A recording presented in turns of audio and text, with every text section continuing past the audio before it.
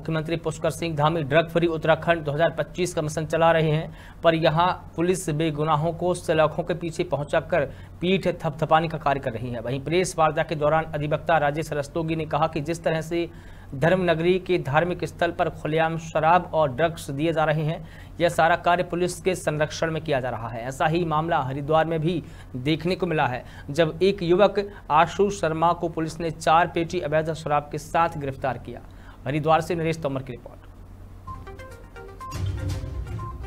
पूरा 21 साल का भी नहीं हुआ है। देश के लोकप्रिय यशस्वी प्रधानमंत्री ने नशा मुक्ति का अभियान चला रखा है।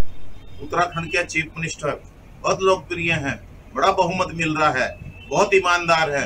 उन्होंने भी नशा मुक्ति का अभियान चला रखा है। हम की तरह अपने दोस्तों के साथ टापू के बैक साइड बैठने जाता था। आए दिन हम घूमते रहते थे वहाँ पर कहीं ना कहीं है ना? दुकान बढ़ाने के बाद तो उस रात भी कुछ पुलिसकर्मी, मुझे नहीं पता था पुलिसकर्मी कौन है। वहाँ आए दिन वो कांवड़िया यात्री और हरियाणा दिल्ली के वहाँ बदतमीजी करते रहते हैं। उस दिन भी